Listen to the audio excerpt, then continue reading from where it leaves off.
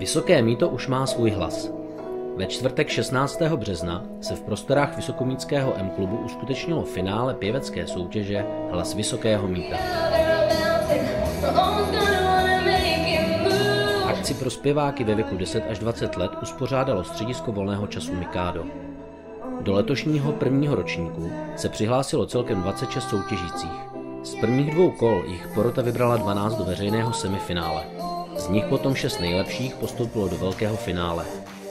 Pro pětičlenou porotu to nebylo vůbec lehké rozhodování, protože všechny výkony byly skvělé a na všech soutěžících byla znát velká příprava. Pro mě je vítěz úplně každý, kdo se dokáže postavit na pódium a do mikrofonu zaspívat před plným sálem. V porotě mimo učitelek Jany Vondráčkové, Suzany Tvrzníkové a Věry Millerové zasedla také klavírní virtuózka Ilona Vávrová a bubeník Vojtěch Zerzán. Zaplněná klubová scéna byla dobrou odměnou a perfektní kulisou pro všechny účinkující i početný realizační tým dobrovolníků. Vzniklo to vlastně v rámci toho, že na základní škole Javorínského už fungovala zpěvecká soutěž a my jsme ji vlastně jenom rozšířili pro širokou veřejnost. Vítězkou letošního finále se stala Barbara Kopišťová. Ta vyhrála také v internetovém hlasování se ziskem 1440 hlasů.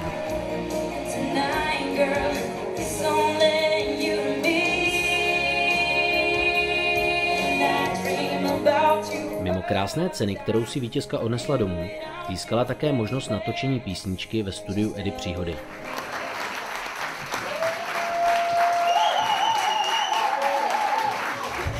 Samozřejmě mám radost, tak to asi by měl každý, že jo?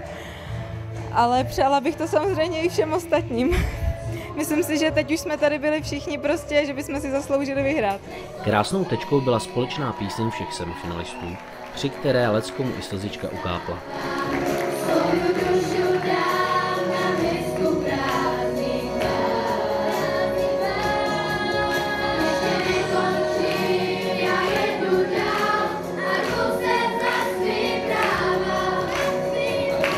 Večer svým vystoupením obohatila také taneční skupina Krucani a kapela VAF.